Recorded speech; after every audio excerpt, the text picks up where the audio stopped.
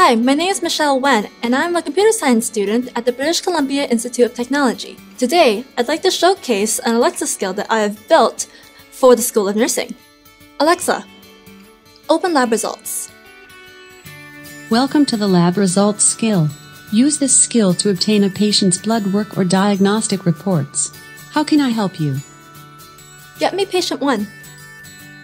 Thank you.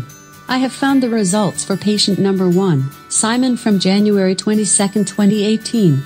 Switch to diagnostic reports. What type of diagnostic test would you like? Radiology. Technically difficult exam done by portable. Good expansion. Normal size heart. Aortic arch and mediastinal structures normal. There is a significant amount of diffuse infiltrates noted. DX, pulmonary edema. Alexa, stop. Thank you very much for using the lab results skill. Hope to hear from you soon.